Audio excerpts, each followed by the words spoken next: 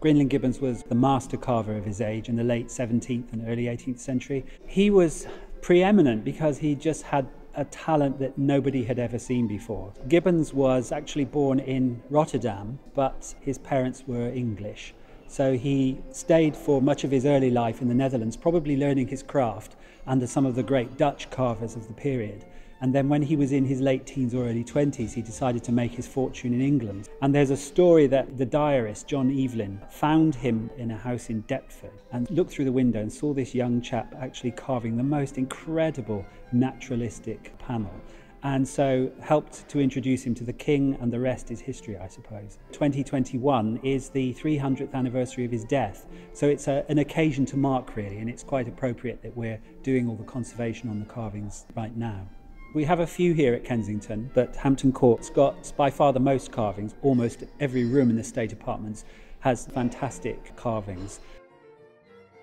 Gibbons liked to carve very naturalistic fruits, flowers, uh, foliage, that kind of thing, usually also with cherubs' heads. So we have all of those components here in the orangery. One aspect that you'll see is how intricate the carvings are. Lots of undercutting. He undercuts all of the excess wood, if you like, to make something very, very light and three-dimensional. Over the years, the orangery has been used as a, a, shelter from the rain, as a potting shed, and of course, birds have got in, they've roosted in the carvings, and this was our opportunity to get them down to really have a proper look at them and to uh, clean and conserve them. They were sent away to a workshop where they were assessed, very careful cleaning was done.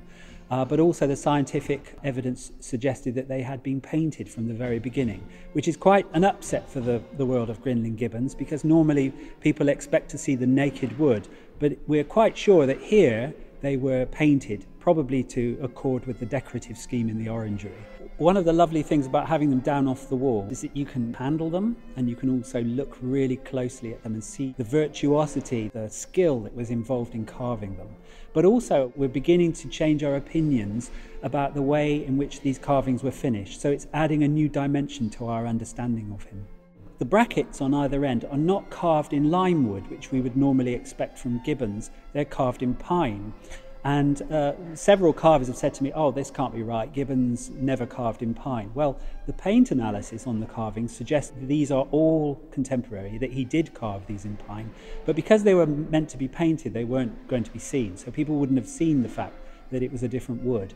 But when you look at the ends of the brackets, you can see the tree rings. So we know that the consoles were carved from half a tree, if you like, or half a log. We've got photographs of these carvings in situ here from the 1920s, and then they were taken down for safekeeping during the Second World War. And when they were brought back in the 1950s, instead of being remounted to the panelling, they were put on backboards and they weren't quite mounted the right way. They were slightly juxtaposed and, uh, and, and had a sort of awkwardness about them. When we took the backboards down, we found the original uh, screw holes in the panelling. Our colleagues who have been conserving them have taken tracings from the back of the carvings, noting where all the screw holes are, and then using the tracings to put against the wall to see whether they line up, and indeed they do. So we're pretty confident that we can put the carvings back exactly as they were before the Second World War. When the pandemic first hit, everything at the Orangery stopped, and that's really bad for a conservation project because the building's vulnerable, it's sort of half finished, if you like, and so the Cultural Recovery Fund has enabled us to complete this aspect of the project and to reinstate the Gibbons carvings. And so that's very reassuring for us because it safeguards the future of the building.